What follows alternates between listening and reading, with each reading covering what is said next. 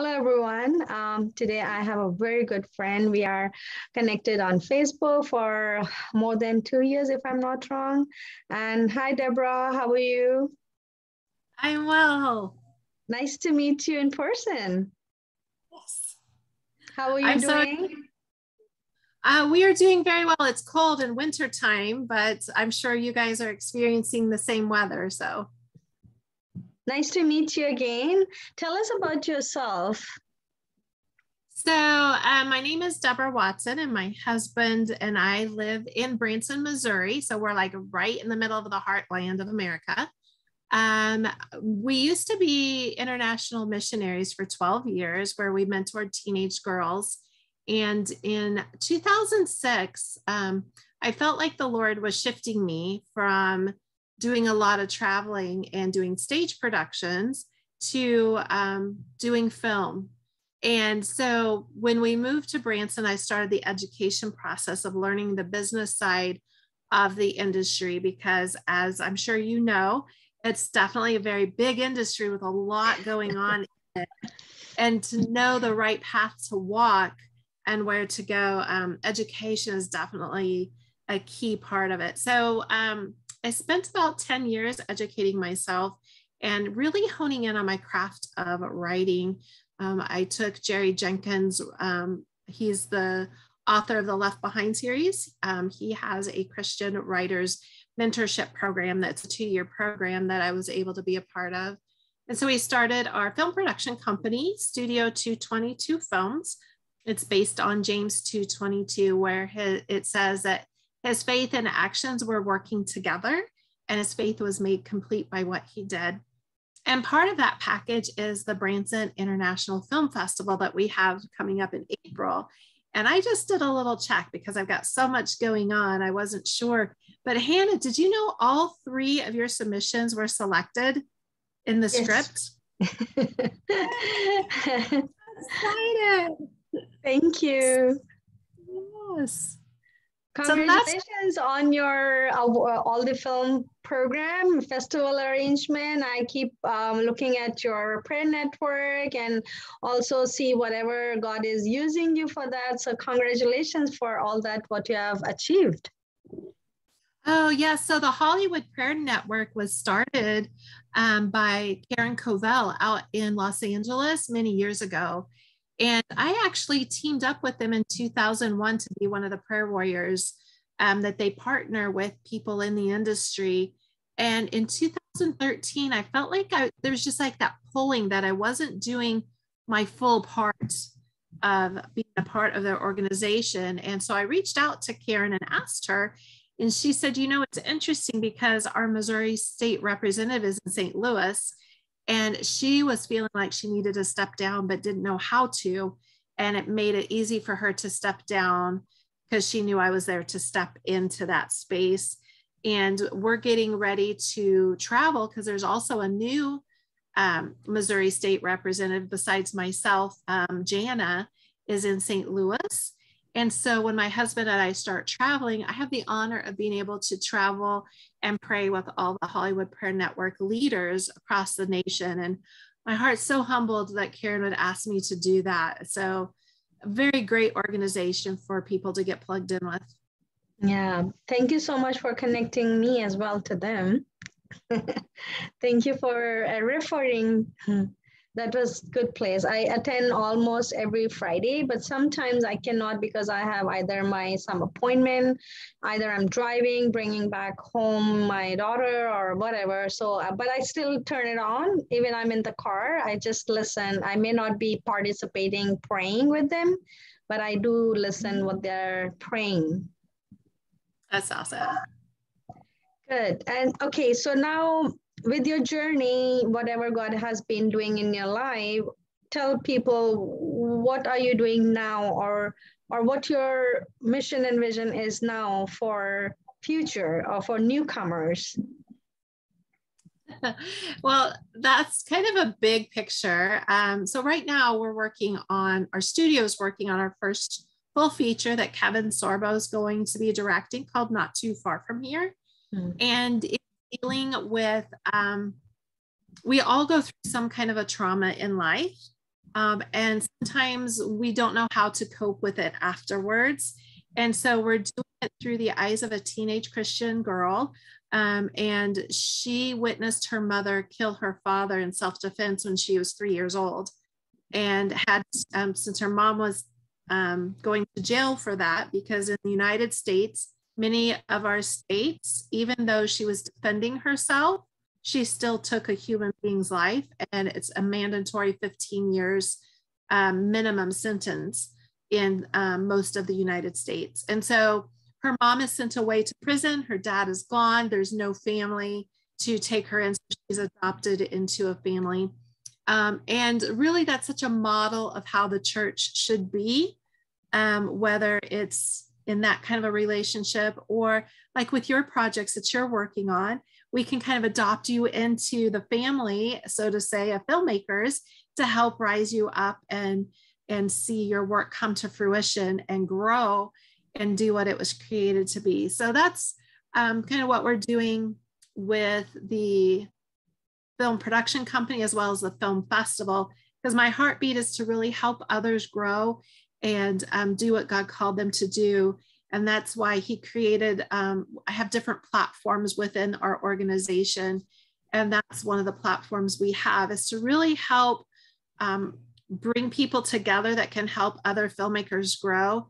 Um, I wish I could help everybody, um, but I can't, but the Lord knows who I can. And so we, we just take it one day at a time and see what He does. So that's interesting. And, you know, I always pray that God let me learn to leave a legacy for my future generation I don't know when I will leave. I don't know what is my life. I don't know what will happen, but I need uh, God to know that I'm there and I'm available to do this.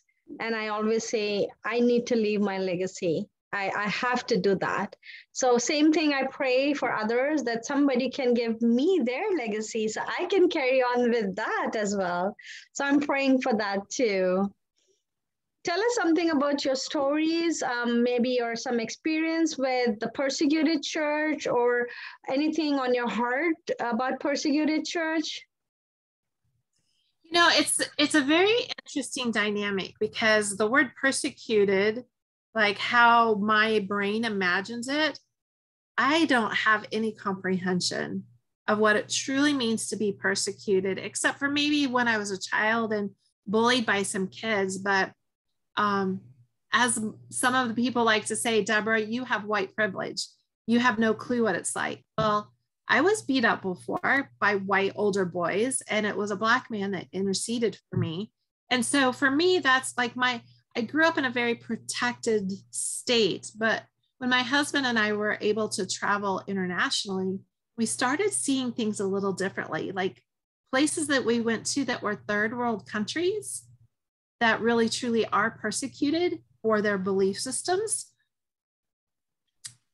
we don't have a clue, right?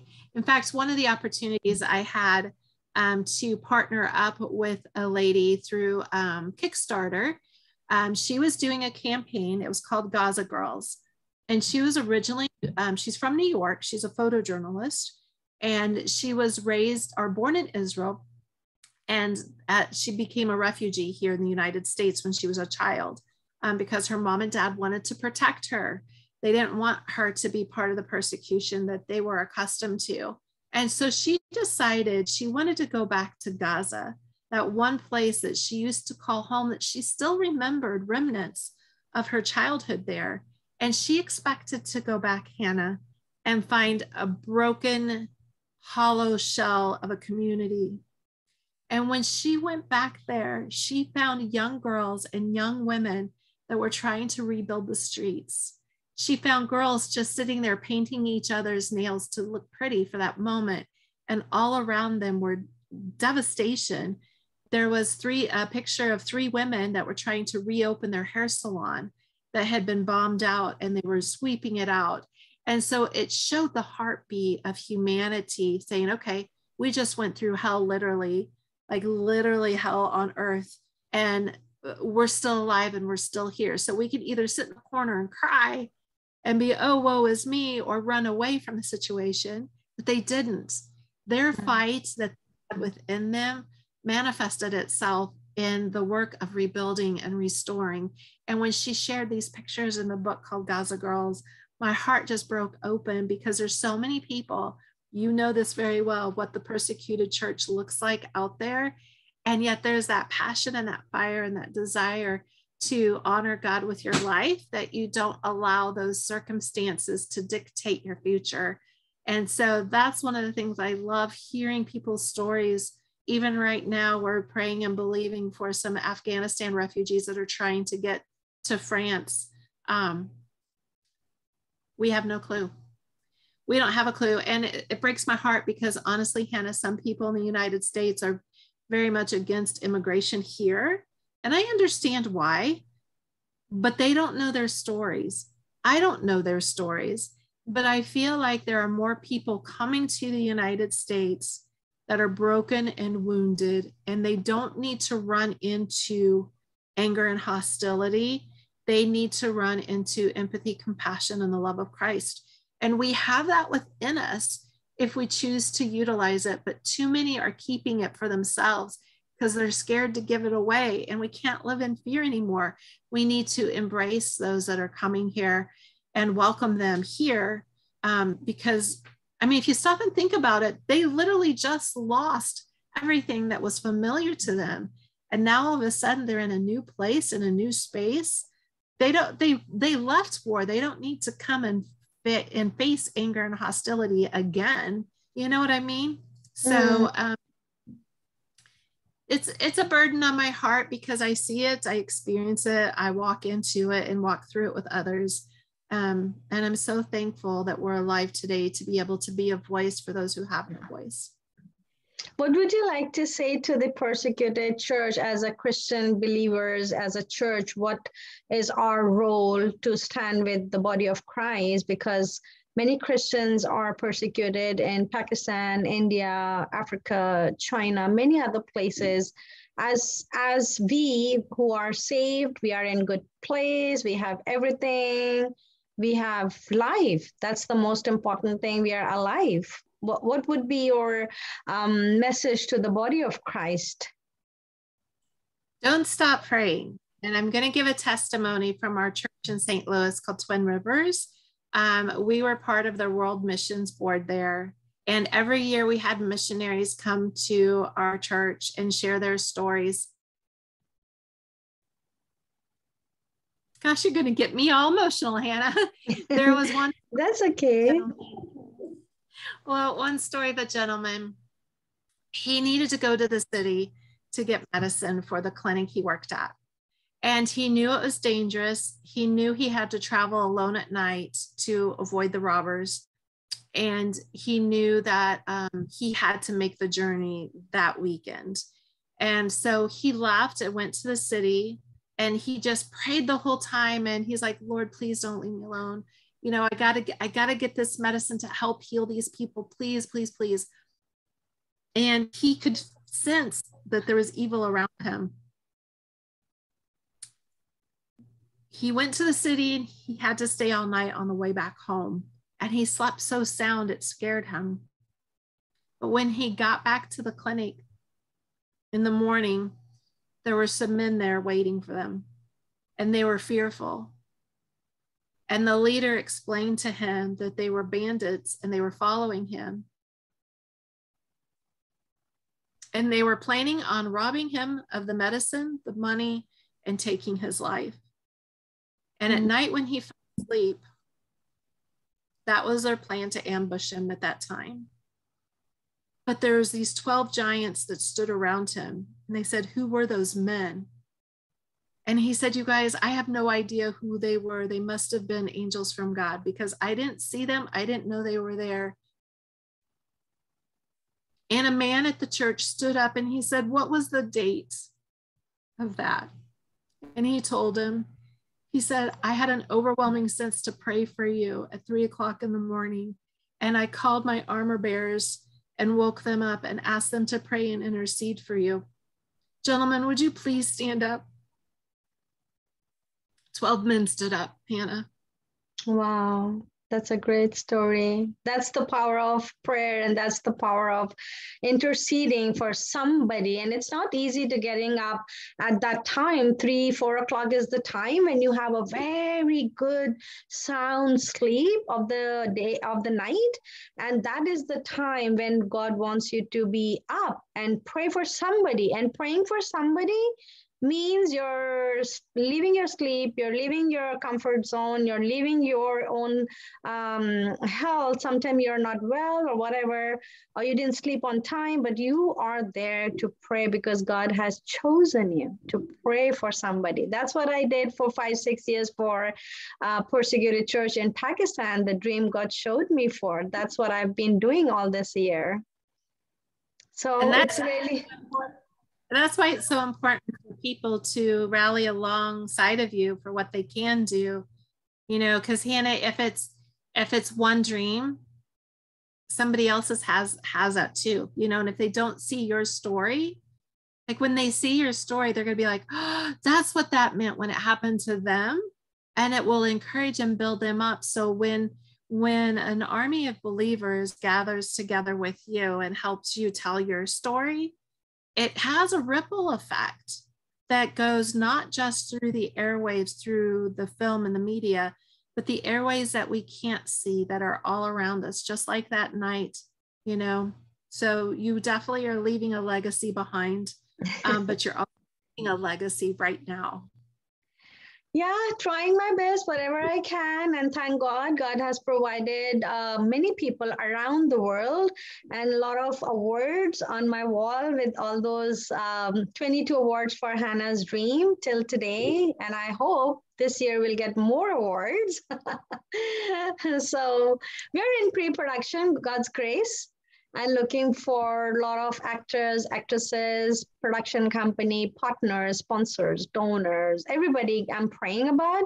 And people are coming, they're helping. There are a lot of volunteers who have been involved, passionately working from last year till today. So I'm honored and I'm thankful to all those people who have been taking out their time, their efforts, their talents, everything has been used very, very dedicatedly for this project.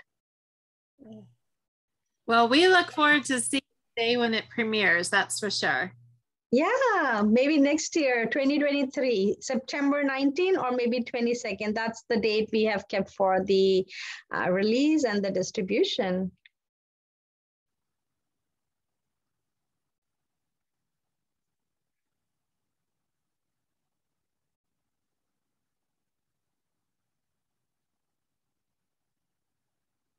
Yeah, yeah, you're fine. Thank you so much for taking out your time. It was an honor to hear the true stories. We have to bring those true stories out, and people should hear what's going on and how God is using his angels for the purpose of his kingdom. And of course, as you said, it's our responsibility to stand and pray for those who God wants us to pray for. So tell us something in the end. What is the uh, award ceremony going to look like and how it's going to be? Oh, the award ceremony at the film festival. So we're working on something. In fact, I just got off a call with our developer virtually where we're hoping to be able to have it where everybody across around the world will be able to come onto a virtual platform and participate in the award ceremony at that time. Um, it's an opportunity for us because we get so many great stories um, to be able to offer out the laurels. And for those of you that don't know how important laurels are, just like how Hannah said, she has 22 wins right now. When she gets ready to go to distribution after the film has been produced, she's able to put those certificates in her portfolio and let them see the amount of um, impact she's had before the film has even been made. And that helps increase um, her ability to um, negotiate at the table. Um, because if she only has one or two laurels, or like, uh, and she's submitted to maybe 30 film festivals, then they won't pay, pay very much attention. But if she has 22 uh, wins on her, like she has on her wall, and she submitted to maybe 25 festivals, that's going to cause them to stay and talk with her longer. So just um, I'm just honored to see what our judges um, said about your script and what's going to happen with it um, with all three of them because there's there's a lot of really good scripts this year and I know the judges had a hard time filtering through them. Um, so now me and my um, board of directors have the opportunity to go through and narrow it down to the top three out of 21 and and it's a challenge it really is but Whoa. God knows who's who's is this time and this season. And so um, we'll be making the big announcement. April 23rd is when the award ceremony is. So yeah, excited to meet if God's will and if uh, all this COVID chaos is finished, traveling is easy to USA because for us it's a lot of uh, protocols while we are traveling in USA or coming back. It's a big, big process and a lot of money involved in that. So I'm praying if it's God's will, I really want to come. I really want to meet all of you personally. And no matter whether I win or not, that's not the intentions to meet. But I just want to be in the presence of um, more spiritual people, more godly people, get connected, pray, and spend time and learn from all of you because that's what I'm trying to do, learning more and more from everybody. I'm just in the learning phase. well, we're honored to have you there. And if you can't make it physically, we're really hoping this platform that we're building out in the virtual world will make it even more interactive than just meeting in the Zoom room. So yeah, yeah. Tell us something about Hannah's dream. Sorry, I forgot to ask you before, or, or other scripts which I have submitted. How how uh, you think, or what you think about those stories? So, I'm t- I'm torn because you have three very powerful stories. Oh my god! More challenge to judges. yes my personal favorite's Courageous. I really liked Courageous. Okay. Um, with Hannah's Dream, I had so I read it when you first submitted it. So let me go back. Um, I think the thing with with your dream is the fact that you knew something was about to happen, right? I mean, that's what the dream was.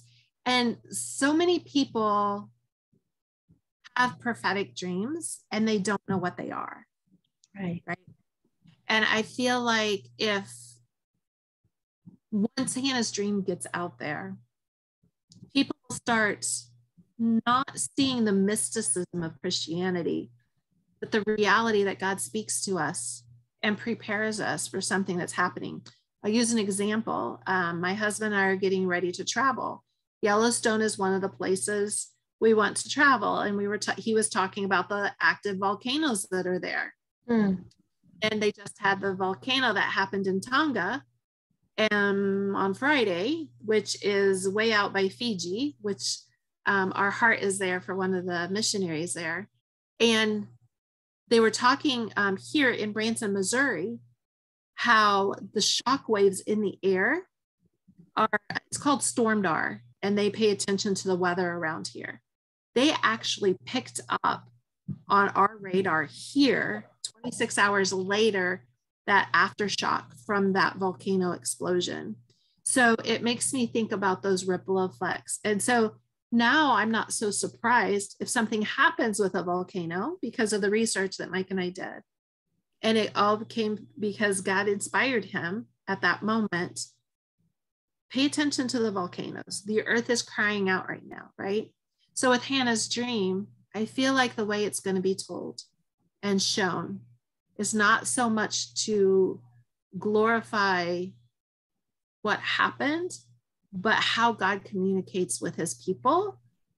And why would we want to not have a relationship with a savior that is that intimately involved with us that would forewarn us before something like that happened? Now, in all fairness, you, you know this, your audience does not. But I'm sitting here saying that four weeks after we got rear ended in a car accident and we didn't even see it coming. So there are times when things do happen that are not good, um, that we don't foresee. But there's a reason why, just like that man that prayed you know, in the middle of the night, just like you woke up from your dream, you know, and you didn't let go of that. You've held on to it all these years because you know when it's God's time, it's going to get released into the airways for the next generation to know mm-hmm. and understand. But I feel like with your with your dream, Hannah, you lived it. You went through that. And people that don't live in that culture don't understand. Mm-hmm. Feel like you've written the story in a way that they'll understand. And maybe they won't be so cold hearted anymore maybe they'll start to understand well these are broken hurting people wounded people that need healing and we have the freedom and the gift to heal them um, by supporting this story that tells the truth of, of what happens and how god saves and restores others so the persecuted church is always going to happen until jesus comes back mm-hmm. but in the midst of it the church doesn't have to feel persecuted but understand the suffering of Christ and his grace that happened at the cross because of it. And um, I feel that grace in that story. What we tried um, when we were writing, we want to, again, as I mentioned before, we are trying to bring the legacy. I may not be lived for 100 years. I don't know how many years I will live. I don't know. so whatever years i'm living uh, first i'm telling my daughter what is her culture? What is her society? And then what i've been through or my people have been through. So all that thing i need to leave it behind. And i'm not from film industry. I've never wrote any stories. I have never studied english. I've never been to any college university to learn uh, filming this is all God's thing. I think I need to change the name of Hannah's dream. It's God's dream, not Hannah's dream anymore, because he wanted persecuted church because it's bride. His bride is being persecuted, and he wants somebody to pray for them. Many films I've seen, they talk many other areas, but nobody's talking about persecution. So maybe, I don't know, maybe that is what God wants this dream and then taking from here, taking uh, to another level. I don't know anything when this was happening or I was praying until now. Now I know, oh, so this is a movie. Okay. I knew, okay, this is going like a feature for, oh, okay. Every day I'm surprised with something God is doing. And I said, oh, I didn't knew that. This is what this. and somebody tells me, yeah, this is going to be like this. And I said, oh, wow. So every time my word is wow, I cannot say anything else to people. And I'm honored. God used me. I'm honored. God blessed me with this dream. It was hard to see when I was present in the dream I touched everybody. I felt everybody. I hear those voices and noise. And I, even today, when I think about it, I can feel that dream, that thing happen. I was not there, but I was phys- emotionally and spiritually was available there. So when mm-hmm. I now talk to the victims, before I say something, they tell oh this is exactly happened how do you know that? So then i tell them my dream. I said this is what i saw. This is what where i was. I can tell them the doors the knobs the windows the faces every single thing i saw. So for me it's it's just like my baby for all these years so I'm very attached to it and I really want to make this movie. And if you know, if anybody's listening, they can help. Please, please, please come and help us to make this movie. I know a couple of people in Vancouver that would be a good connection, I think. Um, if it's not them that helps you with it, they know people in the industry up there. Um, they're in the secular industry, but they know how to frame things together correctly.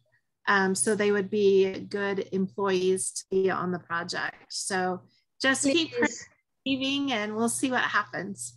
Please. I would love to meet and talk if they can help in any way, in any shape. I'm open to discuss, meet, and then if from it's from God, then yes, I'm there to listen. And if they say do this, do that, I will do it please help awesome. me connect with some people if you can There actually, the irony of it is um, she's a teenager, and I met her through the film festival.